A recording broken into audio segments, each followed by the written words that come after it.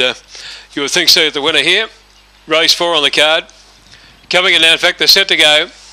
Powerful Loma, 165, box eight. Set to go. Ready?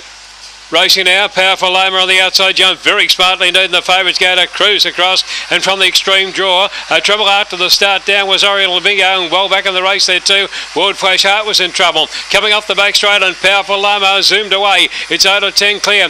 Abakel Varlos followed further back then by Roger Jerry, Kenya Aiden, and back to the inside then came French Defence, but powerful Loma, Hilla Breeze by six lengths, head Bubba second and third. Calvados also Roger Cherry and Kenya Aiden. Behind them then came French Defence followed further back then by a Taylor's Banjo, and tailing off in the race there would have been Oriental Bingo and also uh, Flash Heart, time around 24.07.